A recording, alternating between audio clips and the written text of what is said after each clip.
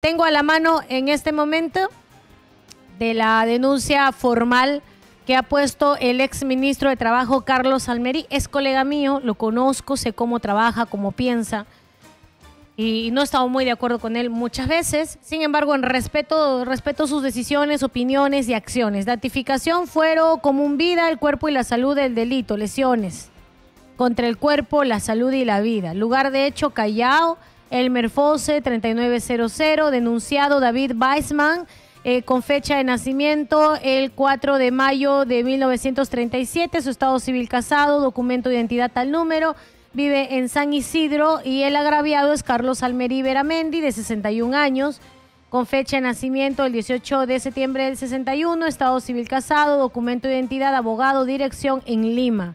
Que Almerí no vivía en Cañete, pero se ha postulado por Cañete, vive en Lima.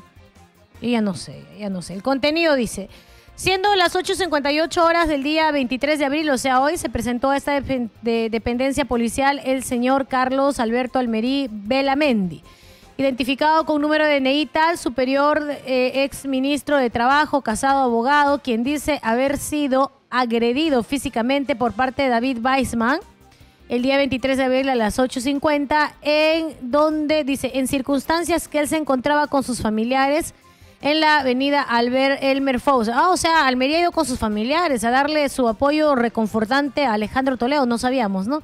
Esto a la altura de la Ribarpol para recibir al expresidente Alejandro Toledo Manrique. Momento donde se le acerca a la persona de David Weisman, donde tuvieron una discusión por motivos personales, refiriéndose a su persona con palabras oeces, denigrantes, para luego propinarle un golpe de puño en el rostro. Asimismo, el agraviado refiere que después del golpe, el denunciado se retiró a bordo de su vehículo particular. Es todo lo que dice la, de, la denuncia para los fines del caso. Tani, ¿quién se acercó a quién? Según las imágenes, el que se acerca es Almería Weisman. Y Almería va a la comisaría y dice que Weisman se le acercó mientras que él estaba con su familia, acompañado de su familia. Él iba por su lado y se le acerca a la persona de Weisman a decirle palabras sueces y denigrantes. Oye, Almería, bien mentiroso eres, ¿no? Con políticos como tú es porque el país está jodido, pues. Esto no, no es lo que hemos visto en las imágenes.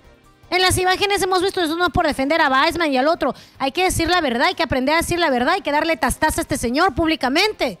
Bájenle el pantalón y denle tastaza al Merí. El que se acercó a Weisman fuiste tú y ahí están las imágenes. Tú fuiste el que empezó hablándole y ahí se, se han eh, caldeado los ánimos porque ambos se han agredido. Tú empezándole a decir por qué no vas y le dices que te han dado el ministerio por burro, te han votado y él que te dijo a ti una sarta de cosas.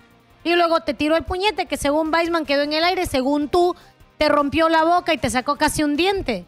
Pero acá hay una mentira muy grande. La mentira es que el señor Weisman se acercó al señor Almerí. Ahí están las imágenes donde se le ve a Almerí acercándose al señor Weisman.